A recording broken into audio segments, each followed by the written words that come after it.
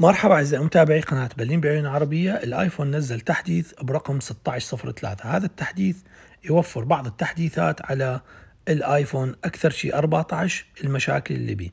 وأيضا على أساس إنه المشكلة اللي صارت بالعراق من توقف بعض الحسابات لهواتف الآيفون أيضا عليها هذه المشكلة. لكن وجهة نظري إنه شركة أبل متقصدة إنه توقف هذه الحسابات الوهمية.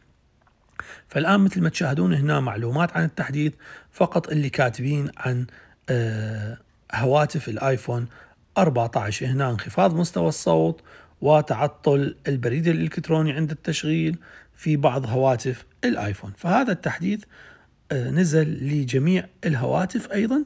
فالآن أنت لازم تحدث التحديث 900 ميجا. لازم يكون على شبكة الواي فاي لا أحد يحدث على البيانات. رجاء راح يصير عندك خطأ. ولأنه البيانات عندكم بطيئة والشيء الثاني آه لازم يكون الشحن أكثر أكثر من 50 فالأفضل إنه يكون شابك على شبكة آه عفوا على الشحن. الآن هاي النقطة الأولى شحن واي فاي قبلها التحديث تقريبا 1 جيجا.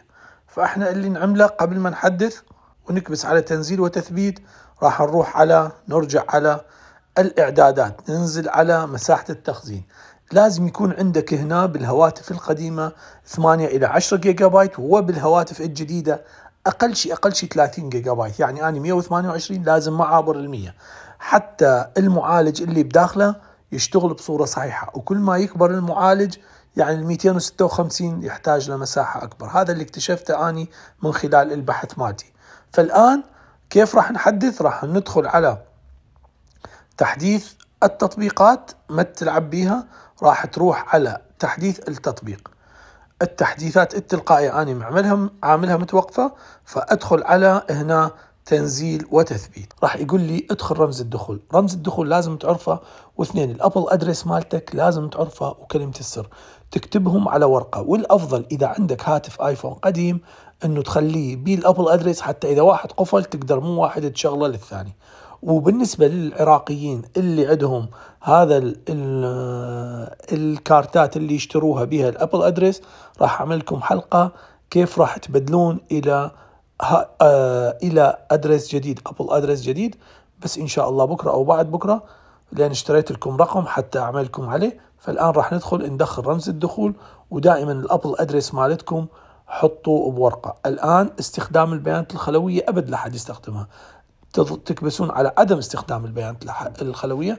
والآن راح يجيك التحديث وراح يبقى شوفوا مثل ما تشاهدون تم طلب التحديث. التحديث راح يبقى مثل آه، ساعة أو ساعتين إلى أن يحدث. دائما هذا التحديث آه، إصلاحات لبعض الأخطاء أو تحديثات أمنية. فهذا كله للآيفون 14 أكثر شيء.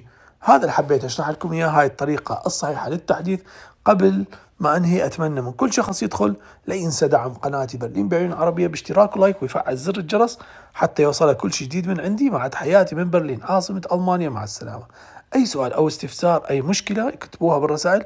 طبعا اللي يسألني مرات كثير أحدث لو ما أحدث؟ لا أخوي أحدث. سواء آه، بمشاكل أو ما بمشاكل أنت مجبور تحدث لأنه هاي شركة. ما تخلي ثلاث ثلاث مرات أربع مرات راح يصير عندك خطأ والخطأ الثاني لازم يكون عندك مساحة كبيرة. أهم شيء المساحة إيش قد كبيرة إيش قد الآيفون يرتاح وما تصير عندك مشاكل. شكرا لكم مرة ثانية. الآن راح يجي التحديث عادي ما في أي مشكلة. مع السلامة.